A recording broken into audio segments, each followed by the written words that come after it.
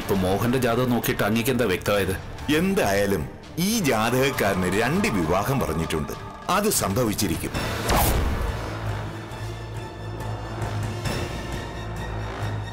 നമ്മുടെ മഹി ഇപ്പൊ എവിടെയാണെന്ന് വല്ല അറിവുണ്ടോ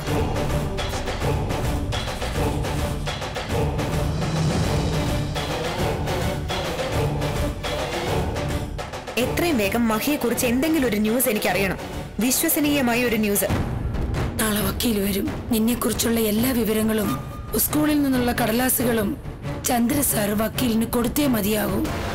നാളത്തെ ദിവസം എന്ന് പറയുന്നത് നീ മോഹൻ സാറിന്റെ മോളാണെന്ന് ഈശ്വരൻ എല്ലാരെയും അറിയിക്കാൻ തീരുമാനിച്ചിരിക്കുന്ന ദിവസമാ.